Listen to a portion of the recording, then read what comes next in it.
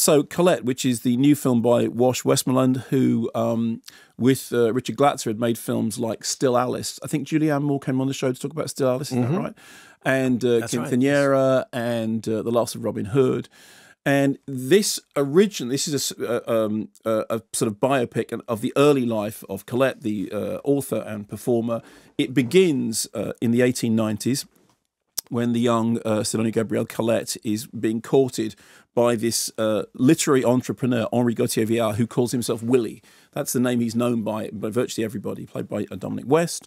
And uh, he's, he basically woos her and takes her to a, a new life in Paris, which she's you know, initially completely astonished by because there are all these you know, parties and social stuff going on. It's also very exciting.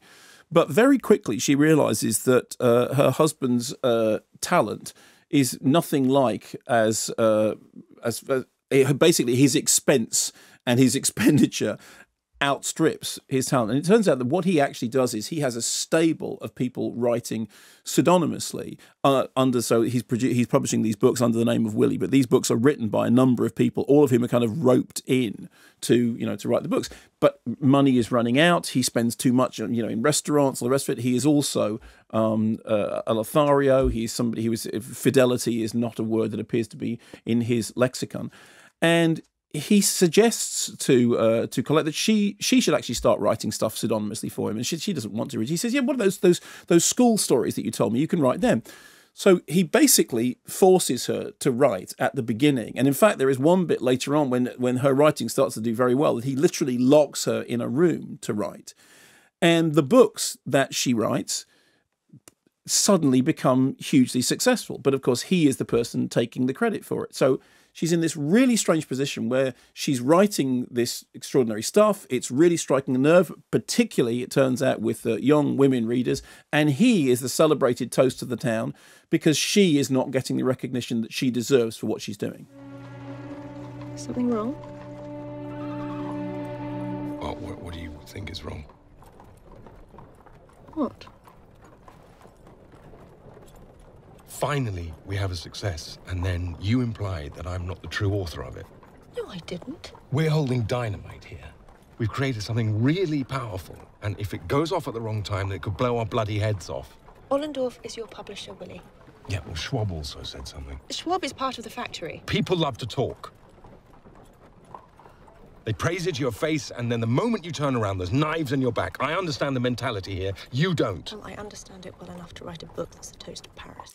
And then what happens is that her horizons start to expand as she starts realizing that you know the marriage itself is rather stifling and her husband is off philandering. And she starts developing relationships firstly with a socialite belle called georgie played by Eleanor Tomlinson and then with missy who's played by Denise Gough. And as this happens she is encouraged to sort of to find her own voice to find her own identity to stake her own claim on what is rightfully hers um, I really enjoyed the film for a number of reasons. Firstly, uh, it ties in thematically to a number of things which Westmoreland and previously with Richard Glatzer had done in movies. Like, I mean, Still Alice is a film about somebody losing their identity. You know, there's that moment in Still Alice in which the Julianne Moore character says, "Some days I find it hard to find myself. You know, I, I can't, I can't find who I am." And this is a story about somebody whose identity has basically been taken away from them. That somebody else is using their voice and selling their voice. And you know, it's interesting, particularly if we think about this in relationship to a film like The Wife, for which Glenn Close is now getting you know great accolades.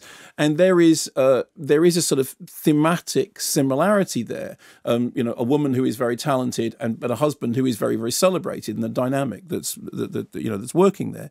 And I mean, also there is a comparison with uh, Mary Shelley, the recent movie of Mary Shelley, when again it's a writer who is being overshadowed by her more celebrated partner. Um, so, firstly, there's that thing about finding your identity, which I think is there in Still Alice. If you look at something like Last of Robin Hood, I mean, that's a film which is dealing with celebrity. And this is also about the creation of celebrity, about what it means when you create a persona, uh, an idea of a, you know, it's somehow. Uh, Willy is a brand name. He actually describes it as a brand name rather than a person. He says it's not that I'm using your work; it's that it's a brand name. We all work together under this umbrella, despite the fact that he's the he's the front of it. So it becomes a discussion about what celebrity means and what celebrity culture means. And suddenly, everyone who's clicking into these Claudine novels is there's Claudine soap and there's Claudine hats and there's a Claudine way of dressing. And then then the movie starts moving into theatrical production, which actually, in a way, becomes almost the most interesting part of it because it becomes a film about um, about life as performance there are these theatrical productions that are seen as quite scandalous by some people and by others as kind of almost pantomime. And at that point, the film, which up until then has taken a lot of its visual references from the French films of Max Ophüls, starts looking a little bit like a kind of like that kind of Fellini carnivalesque thing. And at the centre of it, you have a, a, you know a really really uh, well cast production. I think Keira Knightley is very, very good in the in, in the lead role because what she manages to do is to firstly give you that sense of somebody who is very, very at the beginning, she's you know charismatic and smart and sharp, but somebody who hasn't publicly found her voice, although she's been fighting her own her own battles.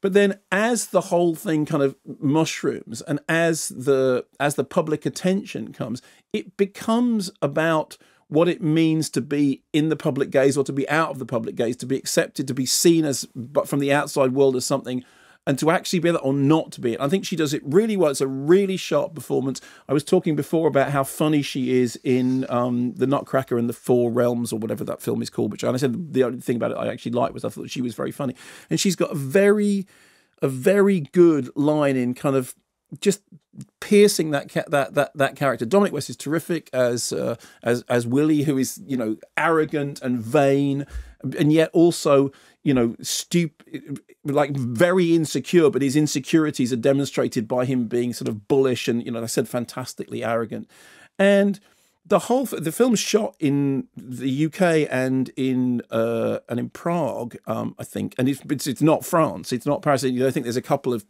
establishing shots are in France, but it, they really do that thing about getting the period detail right. Mean, we're talking about Stan and Ollie. It's interesting that you know you have to believe that you were looking at 1950s England, and very rarely when people are sort of doing film reviews do they talk about how well the production design is done. The fact is the production design on Colette is very, very well done, as is the costume design on Colette, that you do believe that you are looking at this uh, what they call it, fantasy world, and you believe that those characters are in that world absolutely. And the other thing I like about it is it's a kind of you know it's a it's a story which is you know a historical story, but it has a very modern edge to it.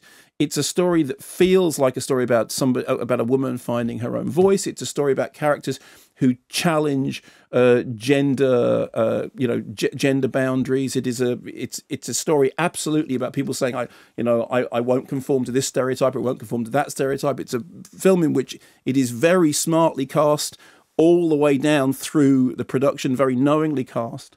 And uh, yeah, I, I, I thought it was really terrific. And again, I've I've seen it twice, and the second time round, I I thought, you know, I, I enjoyed it even more, and not least because I think, I think Wash Westmoreland has is a he's been sort of telling a version of this story. Incidentally, the first version of this script dates back 15 years or so.